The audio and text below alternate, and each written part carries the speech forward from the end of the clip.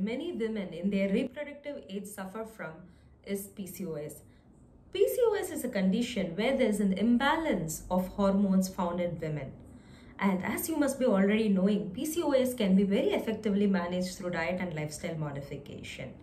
Yes, what you eat and what you avoid is very crucial in managing PCOS. The two main effective ways in which PCOS can be improved is through weight management and reducing insulin resistance.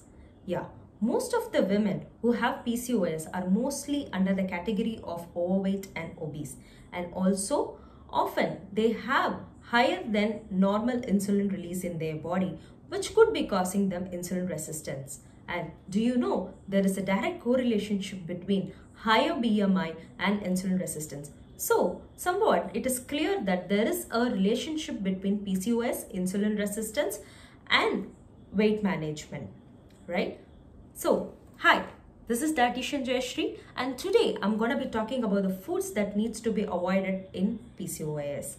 If you're looking for a detailed diet plan for PCOS, we have covered it in one of our previous videos and the link for the same can be found in the description box below. Though PCOS is a hormonal disease, Lifestyle management has been proven to be very effective in managing PCOS. Lifestyle management such as diet, physical activity, reducing stress and regular checkup helps. As said earlier, PCOS women are often found to have insulin resistance, meaning the insulin that is being produced in the body is not being able to be utilized by the body's cells. So, when someone has insulin resistance, there is a higher release of insulin in their body in order to manage the blood sugar levels. This causes higher than normal levels of insulin in the body. High levels of insulin can again trigger hormones such as androgenic hormones like testosterone.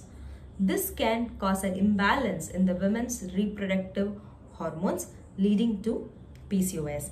So, managing insulin resistance through a low carbohydrate diet is the major step to be taken for a PCOS diet. So going for a low carbohydrate diet, especially completely avoiding the simple carbohydrate is going to be a very wise choice in managing PCOS. Limit the overall intake of carbohydrates. Carbohydrates are generally found in five different categories. Sugars, fruits, cereals, dairy and starchy vegetables especially completely avoid the foods that have high glycemic index such as your all forms of sugars, refined cereals like white rice, maida, pasta, noodles and other derivatives of them. Fruits can be taken but it should be preferably taken along with meals and 100 to 150 grams per day can be taken and also limit starchy vegetables such as potato and tapioca in your diet.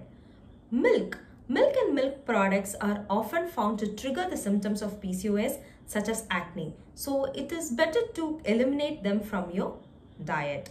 Packed food and energy drinks can come up with a lot of invisible form of sugars so do stay away from them. Meat and poultry needs to be fresh from the market.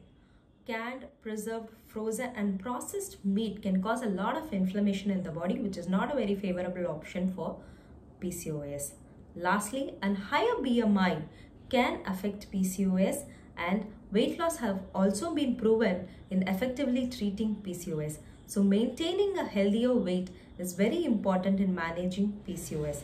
Having said all that, however, a personalized diet chart can do wonders in treating and managing PCOS. So if you're looking for a customized diet chart, you can contact me or other dietitians available on MFine app.